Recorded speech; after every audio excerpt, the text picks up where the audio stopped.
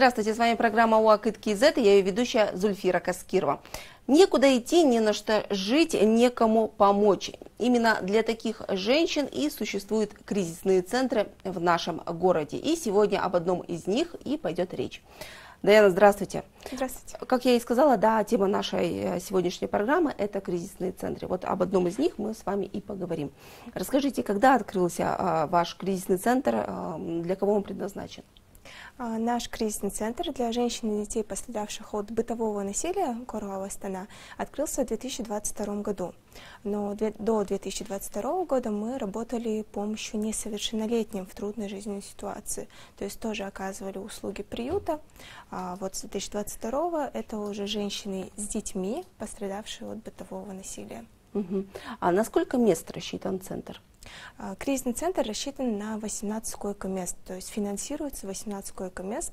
Это в зависимости, не в зависимости от э, возраста, то есть это могут быть 6 э, детей, 12 а, женщин, допустим. А, но у нас есть резервные места до 24 мест потому что бывают такие ситуации критические, когда мест нету, но человеку нужно помочь. Угу. А бывает такое, а, нет, для начала, наверное, сколько по времени могут находиться вот у вас женщины с детьми? Могут до полугода находиться. И если по состоянию здоровья, то можно продлить на некоторое угу. время. А так до полугода они могут находиться, а, но кому сколько понадобится. Кто-то может жить месяц, а, восстановиться, может уйти, а кто-то бывает живет до полугода. Вот а вы оказываете им а, помощь на бесплатной основе? Что предоставляете вы? Да, помощь оказывается полностью на бесплатной основе. Мы предоставляем им питание, проживание, услуги психолога, юриста, социального работника. То есть э, все, весь спектр э, специальных социальных услуг. Э, и экономические, и юридические, то есть в том числе. Угу. Когда к нам поступает женщина, она полностью проходит по своим потребностям, можно сказать, такую диагностику. То есть мы выясняем, что ей необходимо. Нужна ли ей психологическая помощь, нужна ли ей юридическая помощь. А, и дальше уже с ней прорабатываем все моменты, которые можем. А вот, допустим, а женщина, если э, ушла быстро, да, там документы не взяла и все остальное, помогаете ли вы им, допустим, восстанавливать документы? Обязательно. Такие ситуации бывают зачастую. Uh-huh. Бывает, что, э, допустим, мужчина-абьюзер э, забирает документы, может он их испортить, выкинуть. Бывает, женщина теряет документы. Бывает, мы можем принимать даже граждан других стран. То есть у нас были с Узбекистана женщины. А, также, то есть э, неважно, есть у женщины документы или нет, а, она все равно может быть принята в кризисный центр.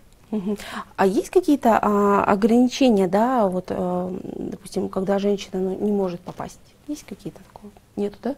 Если она в алкогольном или в наркотическом а. опьянении, единственный угу. момент. А так ограничений по возрасту нет абсолютно никаких. То есть а, у нас были и бабушки, и девушки молодые совсем, Поэтому ограничений нет в этом плане. А количество детей? Тоже нет ограничений. Угу. То есть максимально было 6 детей у женщины. И были вообще без детей, допустим. Ну а вообще вот а, на сегодняшний день сколько женщин находится у вас? У нас сейчас находится 5 женщин и 13 детей. То есть угу. полный кризисный центр. А, возраст а, детей какой сейчас?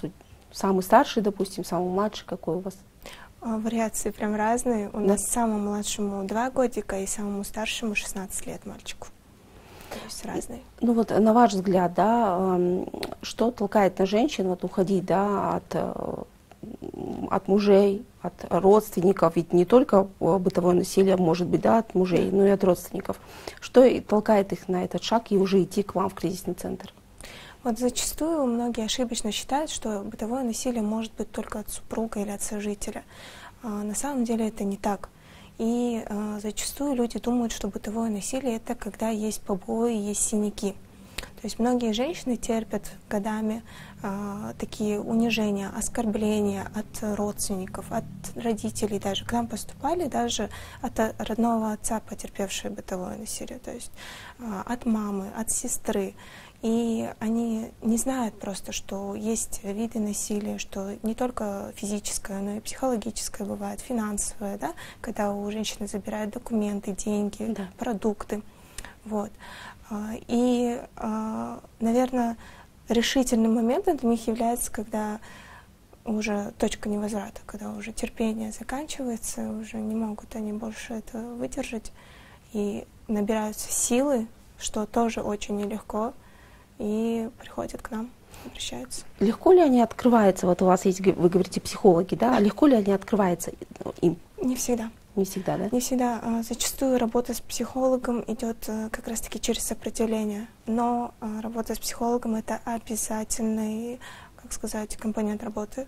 Угу. То есть э, женщина, поступившая к нам, обязательно должна пройти психолога, потому что это такой этап очень тяжелый для многих женщин, потому что начинается сопротивление, то есть она не принимает, э, всячески способствует тому, чтобы не работать с психологом. Но когда вот это сопротивление проходит, наоборот, становится лучше, становится легче, она начинает осознавать все эти моменты, что зачастую же это из э, детства, из семьи, то есть, ну, да.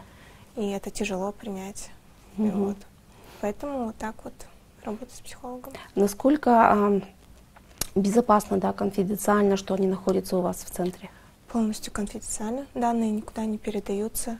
А, адреса мы скрываем. Допустим, адрес кризисного центра у нас а, никто не знает, мы его нигде не, не афишируем. А, у нас есть консультационный офис, где женщины могут бесплатно получить помощь психолога, юриста. Его адрес там на Орлан Моторсе у нас есть, на Мустафина 22 есть. А адрес кризисного центра мы никому не говорим. Вы, ваш кризисный центр, он а, вплотную, да, наверное, со сотрудничает вот а, с органами полиции, да? Да. Угу. С полицией мы полностью сотрудничаем, потому что а, для подтверждения факта бытового насилия нам нужно постановление полиции, то есть что действительно да. было бытовое насилие. Угу. Вот. Вот а, на сегодняшний день, да, а, женщины, которые находятся у вас в центре, помимо воспитания детей, чем они еще занимаются? Это, знаете, условия такого большого дома, в котором много хозяек. То есть э, каждая женщина смотрит за своими детьми обязательно, да, отнесет ответственность за своих детей, готовит, убирает. То есть это все по очереди, конечно же, не каждый день. Но все такие домашние обязанности, это также вот ложатся на ее плечи, так сказать. А есть женщины, которые работают, допустим? Да, есть. Угу. Мы всегда это поощряем. Если женщина работает, это прям прекрасно, потому что а, через полгода считается им уходить, но за это время им нужно восстановиться. За время, пока они у нас, мы стараемся полностью а, помочь им в плане а, получить какие-нибудь а, пособия от государства, алименты, а, допустим, пособия по инвалидности, если есть такие да. детки. А, максимально, что можно дать, что можно получить от государства, мы стараемся за это время вот юридически полностью оказать такую помощь. А, кто работает, тот может работать. У нас есть воспитатель а, и а, с их детками, то есть а, присмотр постоянный, то есть имеется. А вот а, сколько сотрудников, да, находится женщинами в центре, ну, допустим, там в ночное время, в дневное время, есть такое? Да, всегда есть социальные работники и в ночное время, и в дневное время. А, также всегда находится юрист, психолог там, в кризисном центре. С 9 до 6 uh -huh. в ночь социальный работник всегда. Uh -huh. То есть э, дом, он всегда под присмотром. Как-то охраняется? Тревожная кнопка. Тревожная кнопка есть. -huh. Угу. А вот, а, вот как показывает практика, да, сколько времени требуется женщине, чтобы, допустим, прийти в себя? Три месяца. Три месяца, В идеале, да? да для ресоциализации полной достаточно три месяца женщине. То есть первый месяц адаптации, второй mm-hmm. месяц уже а, поиска работы, восстановления, и третий месяц она уже на стабильность должна выйти, и три месяца вот идеальный э, период для ресоциализации. Бывали ли такие случаи, что женщина возвращалась обратно? Бывали, к сожалению. Есть да. такие, да, случаи? А вообще сейчас часто обращаются вот в кризисные центры? К вам, к вам именно? Обращение всегда. Вот как мы начали работать, как только начали давать э, рекламу о том, что вот есть такой кризис-центр, потому что многие не знают, что можно куда-то обратиться. И вот как только мы начали давать огласку, начались обращения постоянные просто. Угу. А есть какая-то статистика в месяц, сколько вот, допустим, женщин обращается примерно? А, в месяц обращается минимум 5-6 женщин. Но мы не можем всех принять, потому что у нас также ограниченное количество мест. То есть 18, максимум 23-24 мы можем взять. А всех, к сожалению, Нет, к сожалению, не можем. да. невозможно, да. А когда, допустим, родственники, родные прих- приходили за женщинами, было такое? Были мужья, приходили, да. Мгм. Но, допустим, если женщина против, а, приходилось а, вызывать полицию, Мгм. реагировать. Если женщина согласна, то да, конечно, переговоры какие-то проходили, потому что зачастую на примирение же идут. Ну да. Да. Вот. Тогда приходили, бывало, сторожили под забором. Вот такие ситуации тоже были. Мгм. Ну, а вообще женщины, когда вот от вас уходят, да, ну, наверное, совсем другими, да, не теми, когда они только пришли. Да. Работа с психологом, а, пример других женщин, все равно это все влияет, окружение влияет. Мгм. И они уже выходят более, ну, я считаю, более сильными, скорее всего. Бывали случаи, когда, допустим, а, женщина возвращалась вот второй раз к вам в центр, в третий? Да, бывали. Но это, знаете, зачастую такие девушки, у которых а, никого нет, никакой опоры, никакой поддержки. Мгм. То есть нет родителей, нет образования, то она не может сама.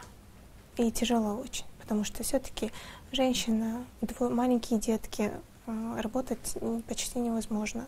И поэтому ей приходилось возвращаться постоянно, а, а ему ну, не помогало то, что она уходила. Ну Если да. многих женщин, ой, многих мужчин успокаивает, когда женщина один раз уйдет, Мгм. а, они берут с этого урок и больше так не делают, да, а этому мужчине это не помогало. То есть каждый раз она возвращалась, и каждый раз он ее обижал.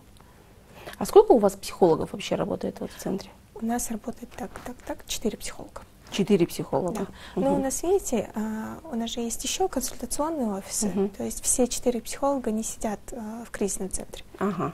В кризисном центре сидит постоянно один психолог, и второй психолог приезжает а, на помощь. Это когда надо поработать с детками, потому что с детками тоже ведется А работа. с детками тоже, да? Да, ведется обязательно. работа? Да, Мгм. потому что они же свидетели этого всего. Мгм. Вот. А так э, в консультационных офисах тоже постоянно сидят психологи на Орлан Моторсе и на Мустафина 22. Мгм. А вообще, эм, вообще как э, потребность каких-то кадров у вас есть в центре? Или в принципе хватает? Штат полный. Штат полный, да? Да. У нас э, более 20 сотрудников. То Мгм. есть это юристы, это социальные работники. Также у нас э, дом, э, за домом нужен уход. То Мгм. есть это обязательно дворник, да, электрик. Такие кадры тоже есть. Мгм. А вот э, женщины между собой в центре, они как ладят? Э, Ситуации разные бывают. Все-таки, как говорится, на одной кухне должна быть одна хозяйка. Ну да. Да, поэтому ситуации разные бывают, но для этого у нас есть психолог, для этого есть тренинги по решению конфликтов, по стратегиям выхода из конфликтов. То есть э, иногда, порой даже им нужно объяснить, как э, нужно донести свою мысль без скандала. То есть спокойно просто. А, Бывает, что у них нарушены вот эти социальные связи, что они не могут, они не знают. Они думают, что нужно кричать только. Ну, также это можно понять, потому что они пережили такое, они всегда жили в таком. Ну да. Да. А вот что бы вы посоветовали, да, вот к концу передачи женщинам, а, кто сейчас находится в трудной жизненной ситуации? Трудная жизненная ситуация. А, Наверное, всегда нужно расти и брать а, силы для развития, то есть э, иметь образование, работать, чтобы быть опорой самой себе. Потому что когда ты не можешь опираться даже сам на себя, то это очень тяжело будет в жизни. Мы видели таких женщин, и это очень печально наблюдать, если честно. Мгм. Даяна, я благодарю вас за интересную беседу. К сожалению, наше время подошло к концу. Спасибо большое. Пожалуйста. А я напоминаю, это была программа УАК Всего доброго и до встречи в эфире.